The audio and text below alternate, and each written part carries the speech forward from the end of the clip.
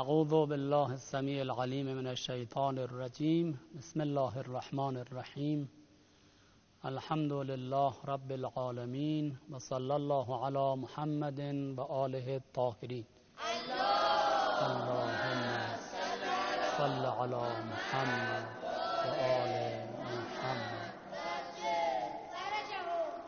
در ادامه مسائلی که در رابطه با واجبات نماز خدمت شما برادران بزرگوار و بینندگان محترم عرض کردیم.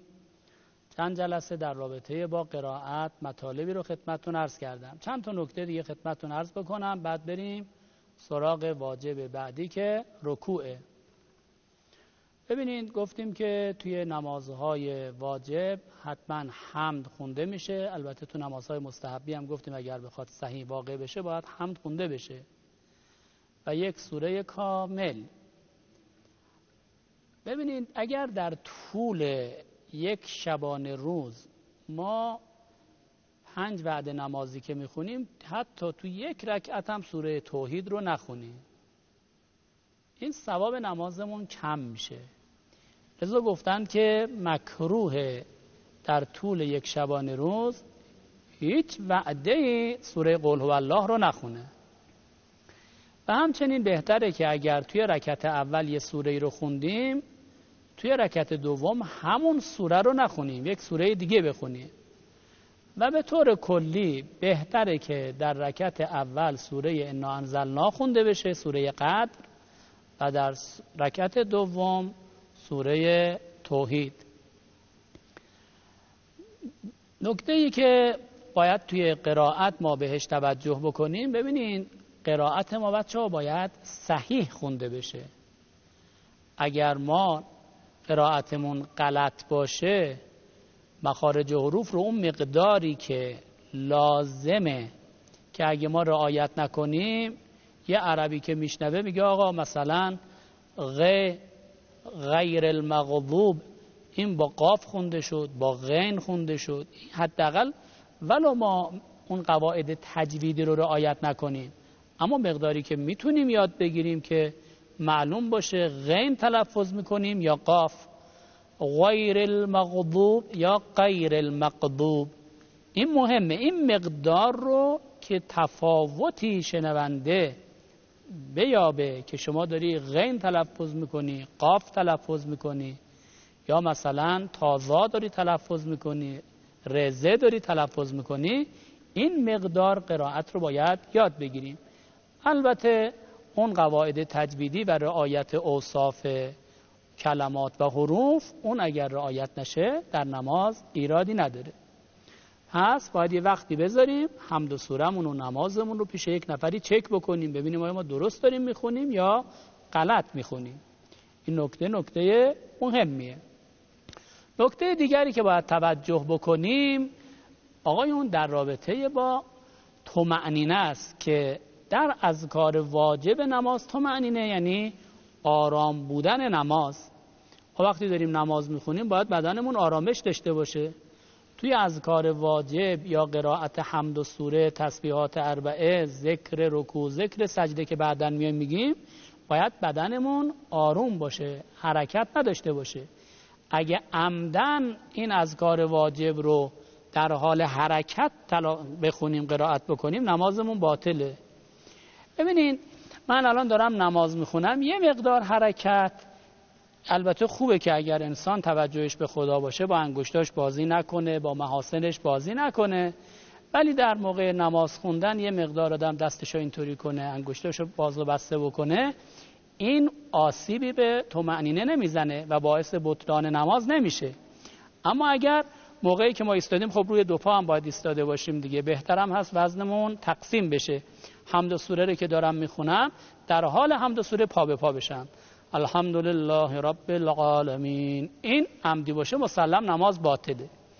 ولی اگر نه یه مقدار حرکت می‌کنم و پاهام از زمین در موقع حمد سوره بلند نمیشه اینجا نماز باطل نیست. ولی عرض کردیم بهتره که انسان تمام توجهش توی نماز به خدا باشه و توجه داشته باشه که در پیشگاه خدا قرار گرفته. این نکته هم پس باید توجه بکنیم. حتی گفتند که اگه کسی می‌تونه نماز و قرائتش رو یاد بگیره و تصحیح بکنه درست بخونه و الان هم وقت شده فرصت نداره اگر امکان داره باید بره در نماز جماعت شرکت بکنه. بله یه افرادی هستند که دیگه هر کاری بکنن نمی‌تونن یاد بگیرن. هر چند بخوای بهشون یاد بدی مثل مثلا پدر بزرگی داری مادر بزرگی داری یه جوری دیگه هر چند بهش بگی بدتر خراب بشه نمازش. اینا رو دیگه ما نمی‌خوایم بگیم وقتی که یادگیری براشون سختی غیر قابل تحمل داره اصلا امکان نداره. میگه آقا تو همون جوری که بلدی بخون. اما مثل شما که مشالله جوونی خیلی زود یاد می‌گیرید حمد و صورتتون رو وقت بذارین. راحت می‌تونید صحیح بخونی. اینجا واجبه که بری یاد بگیری و اگر یاد نگیرین غلط بخونید نمازتون اشکال داره. من دوست دارم که در رابطه با حالا قرائت مطالبی که عرض کردم سوالاتی که در ذهن شما عزیزانه بیشتر بهش بپردازم.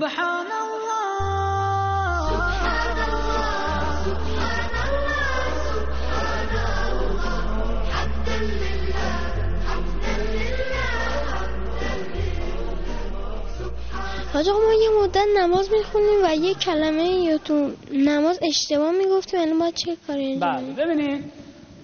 اسمتون چی بود شما؟ محمد. آقا محمد سوال می‌کنه که من یه مدتی نماز میخوندم الان متوجه شدم که یه کلمه ای رو غلط میخوندم. مثلا الله الصمد رو با سین می‌گفتم. این نمازهایی که تا الان خوندم حکمش چیه؟ ببینید سوال می‌کنیم اون موقعی که شما نماز میخوندی مطمئن بودی نمازتو درست داری می‌خونی یا مطمئن نبودی؟ شک داشتی؟ مطمئن بودی. ببینید اگه ما اون موقعی که نماز میخوندیم بچه ها مطمئن بودیم که نمازمون رو داریم درست می‌خونیم. بعدش متوجه شدیم که غلط بوده. اینجا چون رکنی کما زیاد نشده قالب مراجع فرمودند که نمازمون درسته. اما فردی که همون وقتی که می‌خواد نماز بخونه مردده. شک داره که این کلمه صحیحش چگونه است. آیا درست می‌خونه یا درست نمی‌خونه؟ این اگه نره یاد بگیره و متوجه بشه با حالت تردید و شک نماز بخونه نمازش باطله. خب یکی یکی. شما بفرمایید حاج آقا ما می‌تونیم واسه حمد سوره یا آیه مثلا چند بار بگیم؟ بله. آقای امیر حسین خان سوال می‌کنه که من یه آیه از سوره حمد رو مثلا می‌خوام تکرار کنم. آیا می‌تونم تکرار بکنم؟ بله تکرار کردن یک آیه ایراد نداره. مثلا به آیه ایاک نعبد و ایاک نستعین رسیده چند بار ده بار تکرار بکنه. این ایرادی نداره. فقط مهم اینه این تکراره به چه انگیزه چرا تکرار می‌کنه؟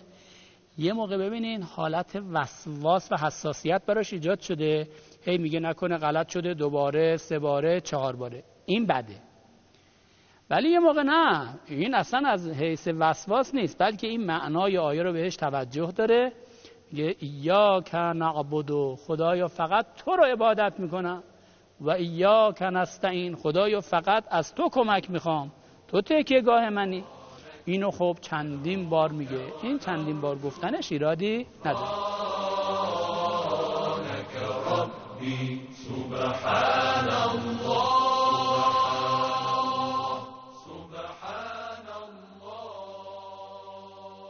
بخش ما سوال. بفرمایید. مثلا ما وایسادیم داریم حمد و سوره رو می‌خونیم. شما گفتید باید بدن آرام باشه انگام گفتن. بعد یه فردی میاد رد بشه تنش می‌خوره به ما ما تعادلمون رو عدس بدیم. حکم نماز بله. چجوری؟ علی آقا سوال می‌کنن که من در موقع نماز خب شما گفتید که حمد و سوره رو می‌خونی باید بدنت آروم باشه. حالا اگر من دارم حمد و سوره رو می‌خونم تسبیحات اربعه رو میگم یه نفر اومد بره به من یک تنه ای زد. و من در حال حرکت بخشی از آیه رو خوندم. یا یک آیه رو در حال حرکت خوندم. اینجا خب بچه ها عمدی نبوده. ولی احتیاط در اینه که بدنش که آروم گرفت همون آیه‌ای که در حال حرکت خونده رو دوباره چیه؟ در حال آرامش بدن تکرار کنه. حاج آقا یه سوال داشتیم. حاج آقا ببخشید وقتی که تو قنوت هستیم می‌تونیم قرآن رو واکنیم ار قرآن یه آیه رو بخونیم. بله ببینید توی قنوت که ما قنوت بگیریم. حالا ایشالا می‌رسیم که قنوت خوبه که آدم دعا زیاد بکنه. آیا می‌تونیم مثلا بعضی از آیاتی که ادعیه است و دعاست قرآن رو باز کنیم توی قنوت بخونیم؟ ایرادی نداره. حتی ممکنه ما نماز می‌خوایم بخونیم. توی نماز یه سوره ای رو می‌خوایم بخونیم حفظ نیستیم. قرآن رو باز می‌گیریم جلومون از روی قرآن می‌خونیم. نماز اشکالی پیدا نمی‌کنه. ولی حتی المقدور اگر انسان حفظه و می‌تونه بدون اینکه از روی قرآن بخونه از حفظ بخونه بهتره که از حفظ بخونه و از روی قرآن نخونه. خب خیلی خوشحالم که خداوند باری تعالی توفیق داده در خدمت شما خوبان. اونم پیرامون مسائل و وظایف شرعی مطالبی رو خدمتتون عرض بکنم. خدا انشالله که زمینه فراگیری معارف حقه دین و توفیق عمل رو به من حقیر و بینندگان محترم به شما عنایت کنه. صلوات بر محمد و آل محمد فراموشتون نشه.